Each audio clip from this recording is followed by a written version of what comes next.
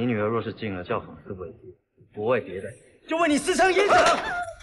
这是《绣春刀》中沈炼夜闯徐府的一幕。教坊司轻飘飘的三个字，就让许大人泣不成声，连连招供。那么沈炼口中的教坊司到底是什么地方？为何让所有人都闻之色变呢？教坊司早在唐朝时期就出现了，不过那个时候被称作教坊。它是由李世民设立的一个专门负责宫中礼乐的职能机构，也是专门培训宫女学习舞蹈乐器的地方。教坊里的宫女主要的任务。就是负责在朝廷举办的宴会上演出，相当于现在国家级的歌舞团。所以能进入教坊的女人，无一不是容貌姣好，或者有一定才艺基础。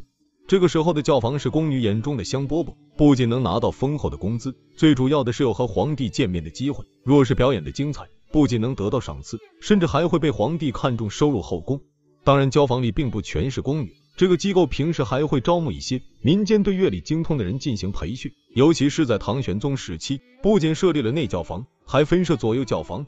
内教房主管宫廷雅乐，而左教房负责舞蹈，右教房排练歌曲。三房各司其职，又分工合作，为唐朝的礼乐文化做出了重要贡献。总的来说，唐朝的教坊不仅是宫女上位的捷径之一，也是一个正规的教人才艺的机构，更是彰显唐朝文化的标志之一。然而到了明朝时期，教坊存在的意义就发生了不可思议的变化，甚至成了让明朝女人宁死都不想进去的魔窟。这其中到底发生了什么？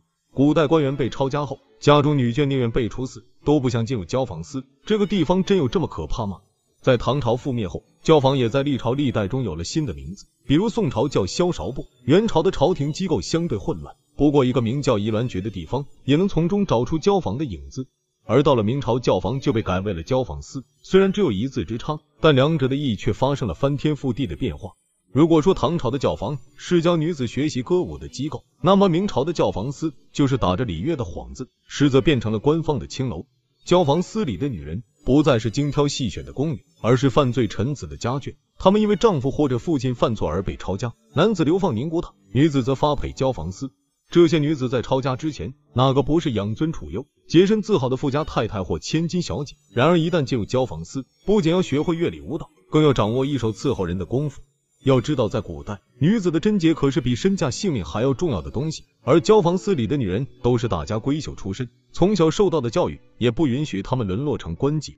所以进入教坊司对他们来说是一种莫大的侮辱。条件好的说不定还会被送给当权者做个小妾，条件不好的就只能成为风尘女子任人欺辱，甚至还会因此丧命。既然横竖都是一死，所以古代的女子宁愿清清白白的离世，也不愿进入教坊司这个魔窟。明朝的教坊司除了会挂羊头卖狗肉、借礼乐之名大行龌龊之事外，绿帽子一词居然也活和这个机构脱不开关系。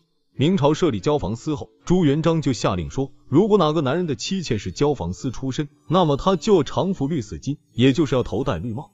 只要戴上绿帽，大家就会知道此人家中的女眷是官妓，不仅被人背后耻笑，就连身份也低人一等。最后便有了女子对感情不忠，丈夫就会被戴绿帽的说法。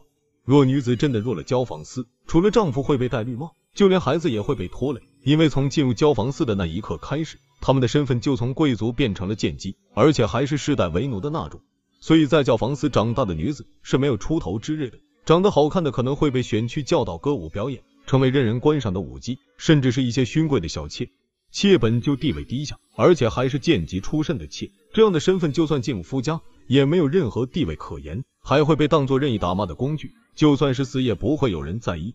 若长得不好看，就只能在教坊司干一些重活，劈柴、挑水、刷公桶，享受半辈子富贵的千金小姐。突然从云端跌落尘埃，受不了打击的他们，只有死亡才能摆脱这样的命运。那被抄家的女子就只能进入教坊司吗？